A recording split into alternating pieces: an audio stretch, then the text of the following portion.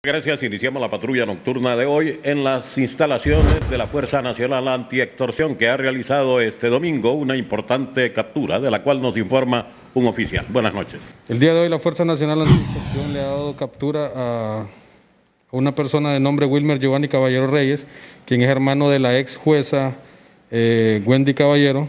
Esta persona es, es una persona de 30 años mayor de edad hondureño, es abogado eh, eh, se le capturó por suponer responsable del delito de cohecho. La captura fue en la colonia Celaya, aproximadamente a las 12 y a las 12 del día, lo cual pues la Fuerza Nacional Anti-Extorsión venía dándole seguimiento desde hace unos días que se tuvo información de que esta persona estaba en este sector, por lo que el día de hoy ya se, se dio la captura de esta persona. ¿Había orden de captura contra él? Sí, aquí la tenemos la orden de captura. Eh, la emitió el, el juez de letras penal con jurisdicción nacional de Tegucigalpa, por lo que eh, se llegó la información hasta la FNA y pues hoy le dimos captura a esta persona.